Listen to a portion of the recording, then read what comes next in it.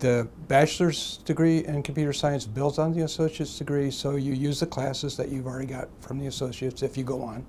Then, but then you have more math, for example, you have calculus, you have a lot more programming, you have some classes like data structures.